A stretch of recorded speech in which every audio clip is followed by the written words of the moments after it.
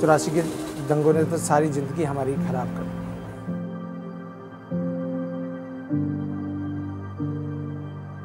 तिलक बिहार की ज़िंदगी उसी की वजह से खराब हुई है जी हर एक घर में एक आदमी नशेबाज मिलेगा जी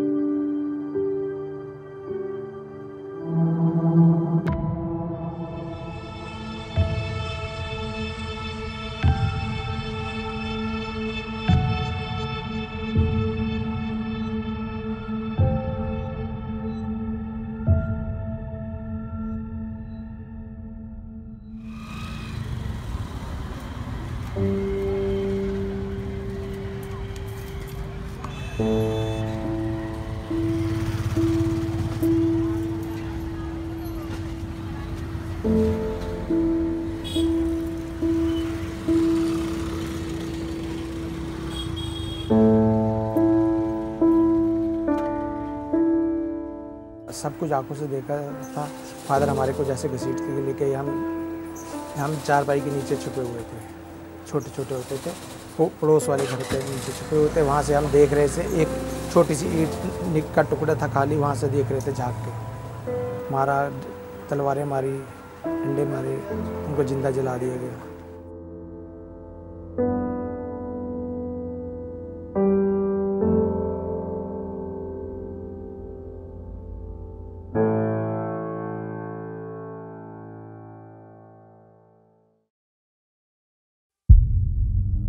हमारा होटल था गुलाई बाग तो मैंने अपने पिताजी को कहा मेरे साथ ही चलो होटल पे उसने कहा कि नहीं तू जा मैं तीन मूर्ति इंदिरा गांधी को देख के आऊँगा आपके पिताजी के साथ क्या हुआ जी वो पहले तो मा, मार रहे थे वो जब नहीं मरे एंड में उन्होंने गोली मारी थी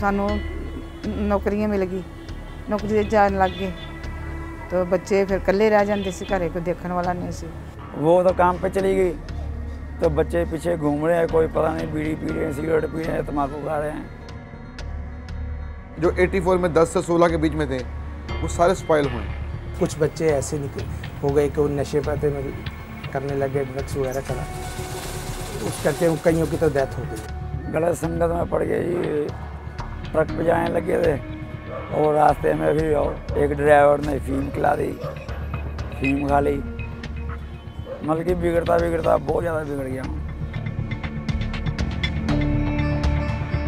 बहुत से लड़के जो मुझसे पढ़े थे जो उस टाइम 14, 15, 16 के थे उनको नहीं पता कि क्या हुआ।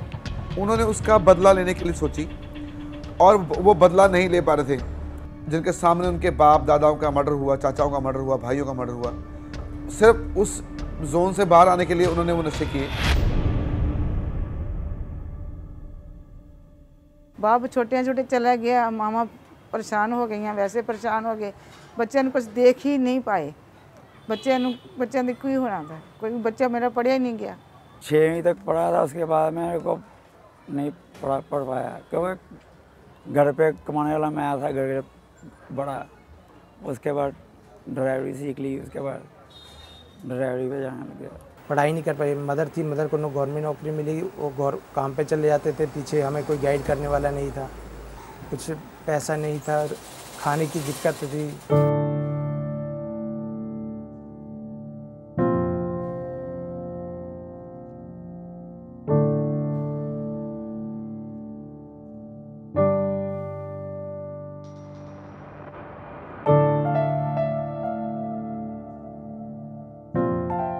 हम अपने फ्यूचर के बारे में सोचते थे, बहुत कुछ है, लेकिन कर कुछ नहीं पाते। इसका रीज़न है कि हमने कुछ नहीं किया। जहाँ भी अगर हम जॉब के लिए जाते हैं, हमें सिर्फ़ एक ही बात की है, तुम्हारी स्टडी कहाँ तक कंप्लीट की है? आपको पता है, आज की वैल्यू में स्टडी होना, टेंथ पास भी होना बहुत ज़रूरी होता है, जो हमने वो भी नहीं कर पाए। लेकिन जब दादाजी नहीं थे, तब मेरे पापा भी नहीं पढ़ पाए। अब मेरे पापा हैं तो मैं भी नहीं पढ़ पाया, क्योंकि पापा जी ने भी नहीं की, कर पाए थे स्टडी, और हम भी नहीं कर पाए।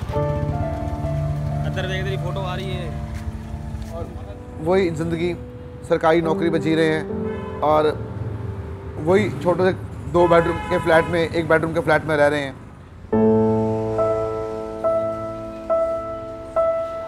हम तो अपने बच्चों को एजुकेशन दे रहे हैं, पढ़ाई लिखाई कर, बहुत अच्छी करवा रहे हैं, क्योंकि उनको ये ये दिन ना देखने पड़े दोबारा जो हमने देखे हैं। बेटा मेरा हरदीप सिंह है, जो फ़र्स्ट ईयर कर रहा है।